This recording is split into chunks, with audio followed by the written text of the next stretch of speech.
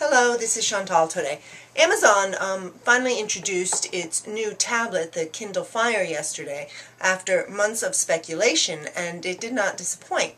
Um, as expected, it uh, has a low price point of $190, $99. Um, this differentiates it from the higher priced iPad.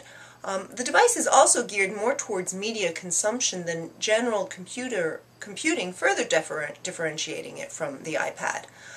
Um, providing a means to sell and deliver, deliver digital content, in fact, seems to be Amazon's play here, with the company pos positioning itself, um, looking to position itself as a content network for mobile devices outside of Apple's eco ecosystem.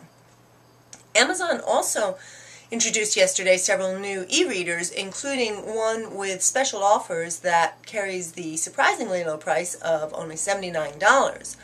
Um, this opens up new opportunities for marketers trying to reach consumers via mobile devices.